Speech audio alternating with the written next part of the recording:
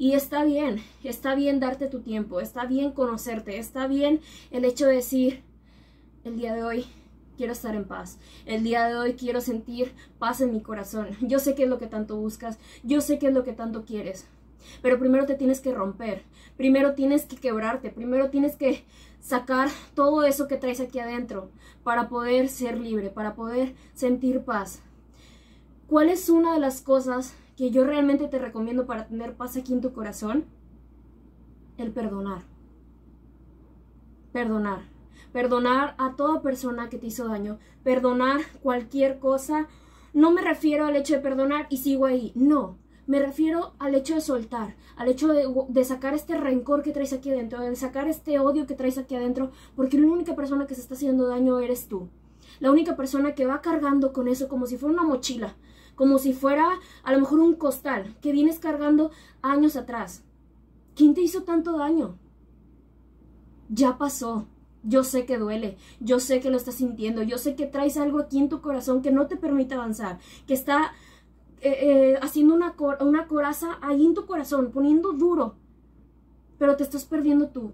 Te estás perdiendo de lo bonito de la vida, te estás perdiendo de lo bonito que es amar, de lo bonito que es dar gracias, de lo bonito que es respirar, de lo bonito que es poder ver el cielo, poder respirar, de poder sentir la brisa que recorre tu piel. Te estás olvidando de lo bonito de la vida por cosas que ya pasaron. Sí, yo sé, te dolió, te lastimaron, te rompieron el corazón, te partió en mil pedazos, recógelos y empieza a curarte y empieza a sanar por ti. Nadie va a venir a rescatarte, nadie va a venir a sacarte del pozo en el donde estás, nadie. Por más que tú hayas apoyado a otra persona, nadie va a venir a hacerlo si no eres tú. Sí, pueden estar ahí, pueden caerte angelitos que a lo mejor te dan una luz, una esperanza, pero eso no quiere decir que te vayan a jalar. Porque yo puedo apoyarte, yo te puedo dar la mano, pero si tú no quieres salir de ahí, yo no puedo hacer nada. Yo no te puedo obligar. Te puedo apoyar, te puedo inspirar, te puedo decir, te puedo decir la manera en que yo salí de ahí. Pero si tú no estás dispuesto, si tú no estás dispuesta, no se va a lograr un cambio. Profundo no. Deja toda atadura, todo odio, todo rencor. Yo sé que te lastimaron, a mí también me han lastimado, yo también he lastimado y me he perdonado por ello. Yo me perdoné por muchísimas cosas y me sigo perdonando porque la sigo regando, me sigo cayendo. No soy una santa, no soy lo que tú crees que, que no me equivoco, que no me caigo, que no lloro, que no sufro. Claro que sí. Claro que lloro, claro que sufro, claro que estoy feliz a veces, claro que me siento radiante, claro que a veces digo, ¿qué estoy haciendo? Pero solamente son momentos, solamente son un, cachito de lo que el resto de la vida me puede dar. Y aprendo a decirme, todo va a estar bien, porque yo estoy conmigo, yo me abrazo, yo me voy a cuidar, yo voy a estar bien. Si yo voy a estar bien, todo a mi alrededor va a empezar a fluir. Y no quiere decir que no voy a tener problemas, no quiere decir que no me voy a volver a caer, no quiere decir que no la voy a volver a regar. ¿Por qué? Porque soy humano. Me vuelvo a caer y me vuelvo a levantar. Pero he aprendido a perdonar. A perdonar a otras personas por el daño que me han hecho. A perdonar a otras personas porque me han roto el corazón. A perdonar a otras personas porque me han lastimado a perdonar a otras personas cuando me han hablado de una manera que no merezco, a perdonar a otras personas cuando han hablado de mí, cuando yo ni siquiera las topo. He aprendido a perdonar sin que me pidan perdón. ¿Por qué? Porque si yo empiezo a agarrar las actitudes de otras personas y empiezo a agarrar ese rencor, ese odio, porque ¿qué te puede dar una persona que está enojada, que está furiosa, que se la pasa lastimando a otros, es porque muy en el fondo esa persona está lastimada. Hay personas que son muy conflictivas, que a veces no las entiendes, que de plano dices, o sea, es que no, ni, no sé qué le está pasando por la mente, es muy confuso.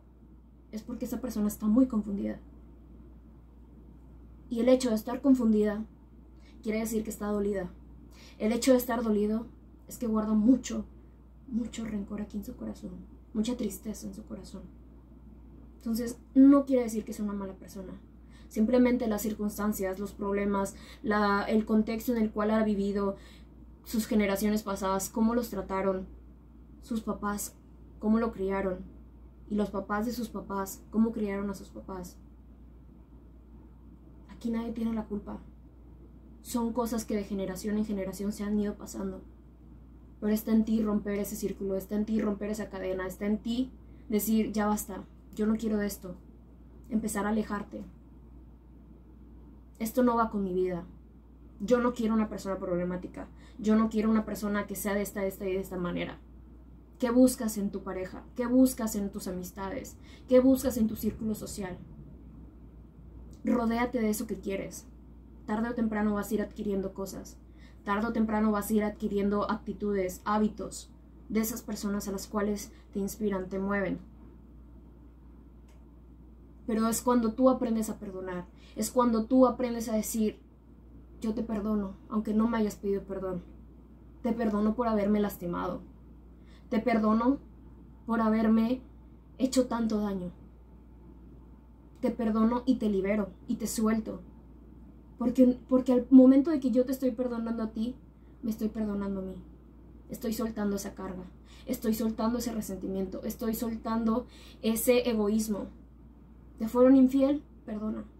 Pero no te quedes ahí a menos que quieras volver a pasar por lo mismo. Sí, a veces se puede dar segundas oportunidades siempre y cuando la persona realmente esté arrepentida, realmente quiera un cambio. Pero cuando ni siquiera eso, no es ahí. Definitivamente no es ahí. Perdona, sí, para que tú no te quedes con ese rencor. Para que tú ese rencor no lo pases a la siguiente pareja que vayas a tener, a la siguiente amistad que vayas a tener. Perdona, pero la persona que realmente y la más importante que debes de perdonar es a ti, como lo mencioné. Perdónate por no haber sabido valorarte. Perdónate por eso que pasó, por ese daño que hiciste. Actuaste conforme a los, al conocimiento que tenías. Esa persona actuó conforme a lo que sentía en ese momento, a conforme a su conocimiento. Recuerda, no, no te está engañando a ti, está engañando es la acción. No lo tomes personal. Hay algo muy dentro de él o de ella que no le permite ser feliz, que no le permite estar bien contigo o con otra persona. Perdónate por haberte puesto como tapete y dejar que te pisaran. Perdónate por no haberte valorado, por no haberte amado, por no haberte puesto como primer lugar. Perdónate por haber estado dispuesta a un maltrato, a que te golpearan, a que te llenaran la cabeza de pura tontería, en la cual te hicieron chiquita, te hicieron así, que no valías, que no mereces. Tu amor lo hicieron añicos, lo hicieron puré, o sea, perdona por todo eso. Yo sé que te dolió, yo sé que te está doliendo, yo sé que estás llorando. Pero te duele más el hecho de cargarlo, te duele más el hecho de traerlo aquí, de estarlo recordando todos los días. El pasado te ayuda y es un maestro y te va a enseñar, pero no es para quedarte ahí. No es un hotel en el cual te puedes quedar para cuando se te plazca. Simplemente vives, aprendes y si te sirve, lo sigues adquiriendo, lo sigues aplicando. Si no, lo desechas y se queda en el recuerdo muy lejos. Y vuelves a, continuar con tu vida. Aprendes a soltar, aprendes a liberar. ¿Por qué no puedo continuar con mi vida? ¿Por qué no puedo tener una pareja estable? ¿Por qué? Porque no has cerrado ciclos, no has terminado con aquello. Suelta, despréndete, deja todo atrás, ya estuvo. Vive el día de hoy. Tú no sabes si el día de mañana vas a poder hacerlo, si el día de mañana vas a seguir viviendo. ¿Y con qué te quedas? ¿Con que estuviste llorando todo el tiempo? ¿Con que estuviste sufriendo? Sí, saca esa tristeza, saca ese enojo, saca esa rabia. Y si sientes que te sobrepasa, lo primero que yo buscaría sería Dios. Y es lo primero que siempre busco. Dale una oportunidad. Deja que te guíe. Deja que esté ahí. Deja que te apoye. Es que no lo escucho. Es que no me dice nada. A veces estamos muy ciegos. A veces decimos, a mí no me escucha, a mí no me va a escuchar. Cuando ni siquiera te has percatado que te ha mandado muchas bendiciones. Muchos angelitos. Y tú, como los caballos, terco o terca, en lo mismo. Aprende a quitarte esa venda de los ojos. Aprende a observar lo que está a tu alrededor. Aprende a dar una oportunidad a algo nuevo. Aprende a darte una oportunidad a ti. Aprende a perdonarte. No te vayas a dormir con ese rencor. No te vayas a dormir enojado contigo, enojado con tu pareja, enojado con tu mamá, enojado con tu papá, enojado con tus hermanos, enojado con algún familiar, enojado con algún amigo. Ciertamente sí, a veces hay que reflexionar y dejar que la emoción baje un poquito, porque a veces actuamos muy impulsivos. Ya que estás tranquilo, ok, ahora sí vamos a hablar. Pero no te quedes con esta emoción, con lo que quieres decir. Sácalo. Porque tarde o temprano, temprano perdón, se va haciendo como una bola de nieve. Que va creciendo, va creciendo y luego explotas. Y dices, pero yo nunca he sido así. Yo nunca he sido de esta manera. ¿Por qué ahora me estoy comportando como alguien que no soy? Porque lo has ido guardando en una cajita, en una cajita hasta que se empieza a desbordar y empiezas a dejar de ser tú. El día de hoy te invito de verdad a perdonar, a perdonar a toda persona que te ha hecho daño, a toda persona que ya forma parte de tu pasado. Déjala libre y quítate eso. No vas a ganar nada teniendo aquí el rencor. No vas a ganar nada teniendo aquí el odio, teniendo aquí la tristeza. No ganas nada. Sin embargo, te destruyes. Sin embargo, te vas apagando. ¿A quién debes de perdonar el día de hoy? ¿A quién necesitas soltar el día de hoy? Perdónate. Hiciste lo mejor que pudiste. No fue tu culpa. Tú no eres la culpable. Tú no eres el culpable. Si pasó, ya pasó, te enseñó, te dejó algo. Toda persona llega a tu vida para algo. Y si no funcionó, es porque algo mejor te está esperando. Pero si tú sigues aferrado, ¿cómo podrías poder recibir con las manos abiertas, con el corazón lleno, las bendiciones que están esperándote a ti? Como bien dicen, se cierra una puerta, pero se puede abrir una ventana. Se abren cinco puertas más. Date la oportunidad. Date la oportunidad de liberarte. Porque si tú no liberas espacio aquí, ¿cómo quieres que cosas positivas, cómo quieres que esa energía buena, ese amor empiece a llenarse aquí? Si ya está repleto, pero repleto de odio, repleto de egoísmo, repleto de envidia, repleto de coraje, repleto de tristeza. ¿Qué quieres tener aquí en tu corazón? Empieza a soltar y empieza a perdonarte. Perdónate el día de hoy. Yo he aprendido a perdonarme. He aprendido a no irme a dormir sintiendo algo aquí en mi corazón, sintiendo un resentimiento. Es difícil, sí, claro, porque tu vocecita interna siempre te está metiendo ideas, siempre está diciéndote o sugiriéndote más bien que te autosabotees, que vuelvas a caer y que vuelvas a lo mismo y que te empieces a imaginar películas mentales en las cuales siempre eres la víctima. Basta, ya, déjalo. Sí, te lo puedes sugerir, pero tú empiezas a voltearlo. Cuando te empieza a decir que no eres suficiente, demuéstrale que sí. Demuéstrale todo lo que has hecho ponte a leer un libro, ponte a hacer ejercicio, ponte a conectar con la naturaleza, ponte realmente en un tiempo para ti, en un tiempo en paz en donde puedas escucharte a ti. ¿Qué es lo que estás sintiendo? ¿A quién voy a perdonar el día de hoy? Hoy voy a perdonar a Pedrito porque me hizo esto, esto y esto y esto. Y me hizo sentir de esta manera. ¿Por qué? porque yo me dejé pisotear, porque yo estaba ahí, cuando él ni siquiera podía solito empezar a fluir.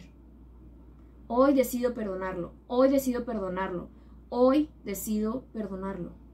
Aunque no lo creas, y aunque aquí te esté carcomiendo la sangre, que se te esté subiendo, que estés, que te mueres, pero el poder de escribir tiene, tiene algo, realmente tiene algo. Es muy poderoso, es muy poderoso el hecho de escribir. Empieza a hacerlo. Te dejo con esto y realmente espero te sirva, realmente espero que te des la oportunidad de perdonar y de perdonarte a ti. Hiciste lo mejor que pudiste. Empieza a perdonarte y trata de hacer mejor las cosas. Mañana sería un mejor día. Así que echar muchísimas ganas, muchísimo éxito. Aprende a valorar, aprende a agradecer, aprende a perdonarte y aprende a amarte. Si tú te amas, van a llegar personas a tu vida que te amen.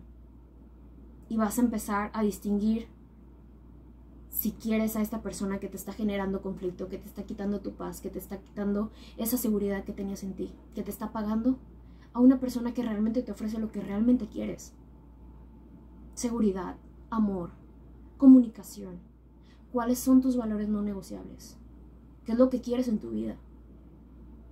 Y empieza a vivirla, empieza a gozarla, empieza a realmente disfrutar de cada momento no somos eternos. Y tarde o temprano nos vamos a ir de esta vida. Está en ti disfrutarla o no. Está en ti saber valorarla, saber apreciarla y poder ser tú, no fingir. Que tengas un muy bonito y muy bendecido día. Échale muchísimas, muchísimas ganas y muchísimo éxito. Que tengas un muy bonito y muy